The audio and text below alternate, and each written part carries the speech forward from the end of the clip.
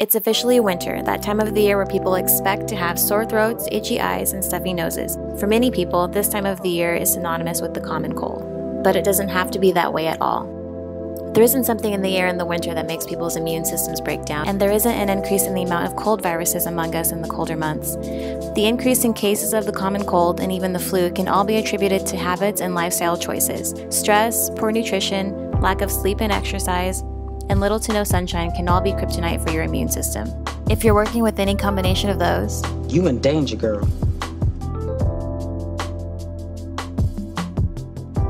There's lots of warm drinks and tonics you can use to boost your immune system.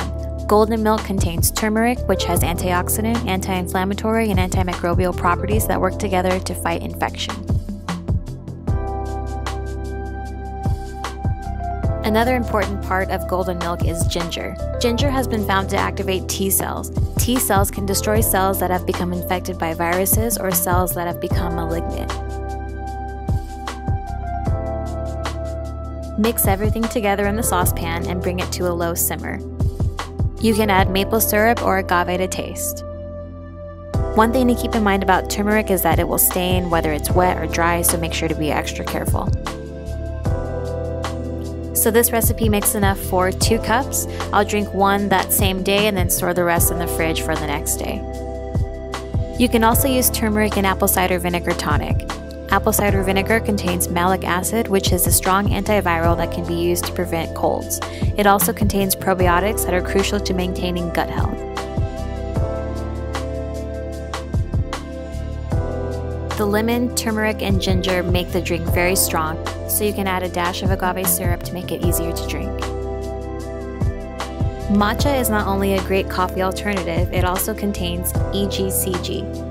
EGCG helps your body produce more T cells, which reduces inflammation and fights pathogens. Matcha also contains chlorophyll, which detoxifies the body.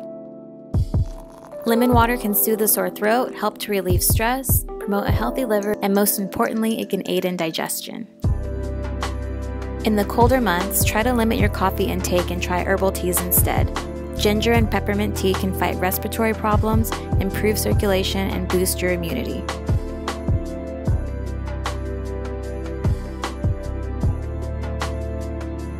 I'm sure you all know the health benefits of juicing, but juicing has specific benefits for your immune system.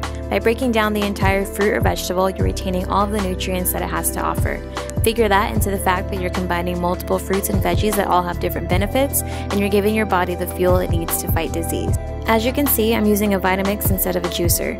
I did a video on the process that I'll link in the description box below, but basically the key is to add water and then strain the juice until your desired smoothness. All of the juice recipes make about 32 ounces except for the green juice, which makes about 64. I think that's due to the high water content of the cucumbers. Green juice is the quintessential health drink, but I think it's important to mention that yellow juices and orange juices have a wide array of benefits as well. Carrots contain beta carotene, which converts into vitamin A. Ginger has many benefits. It can detoxify your respiratory system, decrease inflammation in the lungs, and when taken orally, ginger can increase your lung capacity.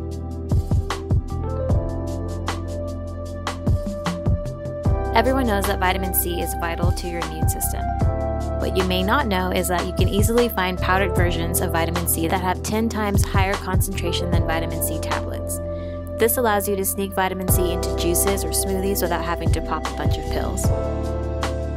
You can even mix one tablespoon of vitamin C powder into room temperature water and drink it that way. Garlic has the ability to boost your immune system. Studies have shown that garlic reduces the risk of becoming sick in the first place as well as how long you stay sick. These are a few liquid herbs that I take this time of year to prevent getting sick. Oil of oregano is a powerful microbial that can fight infection. In fact, it's considered nature's antibiotic. The resins within osha root relieve congestion by expelling mucus from the lungs and sinuses and reduces inflammation by naturally increasing your own cortisol production. This next tincture is a combination of different herbs that improve respiratory health including osha root, ginger, and licorice root. Echinacea cuts the chances of catching a cold by 58% and reduces the duration of the common cold by almost a day and a half. Elderberries can aid in digestion, improve cardiovascular and respiratory health, boost immunity, and helps to regulate insulin and glucose levels. Probiotics should be a staple in everyone's self care routine, and you can take them in a variety of different ways. Ever heard the expression, all disease starts in the gut? Well, 70% of our immune defense system lies in our digestive system. Kombucha is a great introduction of probiotics if you're not ready to do a parasite cleanse yet. My aunt introduced me to neti pots and I like to use it once a week or so while in the shower. I got mine from Target, it was less than 20 bucks, and it's basically a nasal flushing system that uses warm water and salt to clear your nasal pathways. Check out my blog post linked below for instructions on how to use it. An herbal steam can be a great relief if you're already feeling a little under the weather. When combined, rosemary and peppermint essential oil work together to provide quick relief from congestion and scratchy throats. Just take a pot of boiling water, add about 10 to 15 drops of each oil, stir, and then lean over the pot and inhale the steam. If the oils are too strong, simply add more water to dilute the mixture. Another trick is to keep a bottle of non toxic hand sanitizer handy. This recipe is vegan, cruelty free, and all natural. Simply mix together aloe vera gel, witch hazel, rose water, essential oil for fragrance, and tea tree oil to kill germs. Like the vitamin C recommendation, I'm sure you don't need to be told that exercise can help to optimize your body and keep you from catching a cold. Anytime you encourage an increase in blood flow, you're recharging your cells and organs so that they can properly perform. Staying away from long nights and alcohol during the colder transition months will decrease your chances of waking up with a scratchy throat. A full night's rest also gives your organs enough time to cleanse and reset themselves.